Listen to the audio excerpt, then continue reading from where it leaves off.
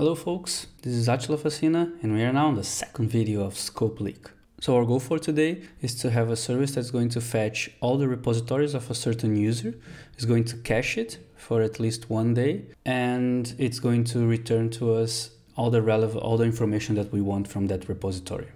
So in order to start, we need to install a couple of dependencies. Now node with the types and what we need to run the server. Node fetch is a polyfill to run uh, the fetch API inside Node.js and the types of the GitHub API and this is the, the URL and of course we need to replace username key with our actual username that we want.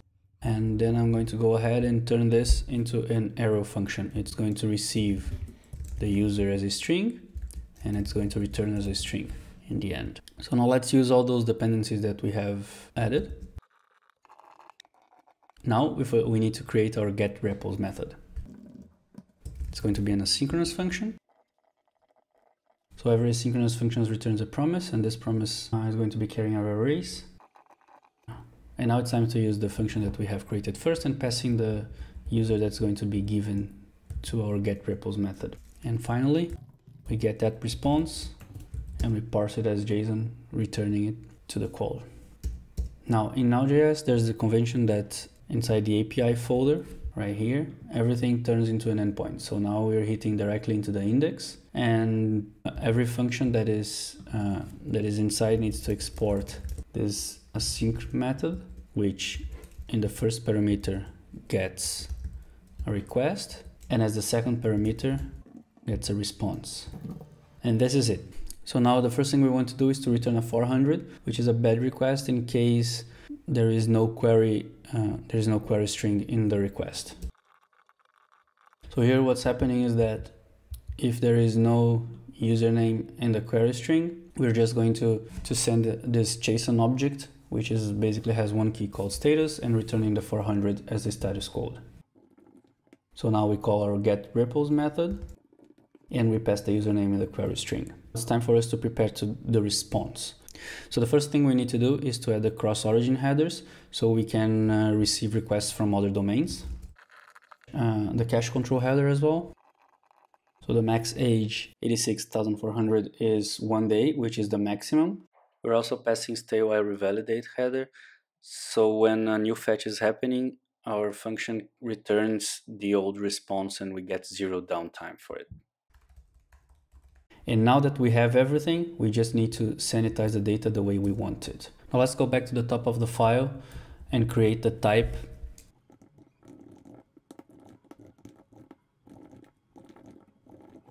So we're going to have here the name, which is going to be a string, the description of the repository, the homepage if it's set, the link of this repository on GitHub, and the number of stars.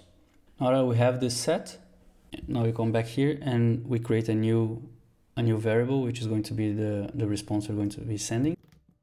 And now we just need to grab the data and start formatting it the way we want it to. We're going to filter all the forks out of now we already have no forks. What we need to do is to map all that list of the remaining repositories and take out everything we want. So we want name, description, homepage, the link, and the stars. So we have name, description, homepage.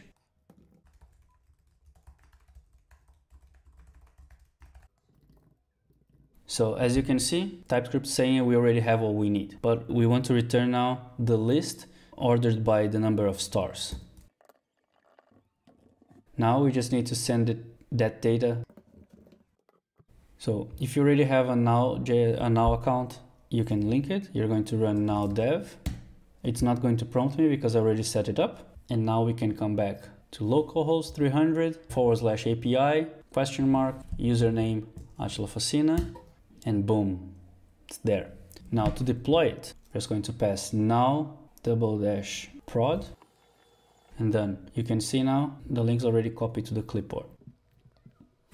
Paste it. Boom, there it is. Done.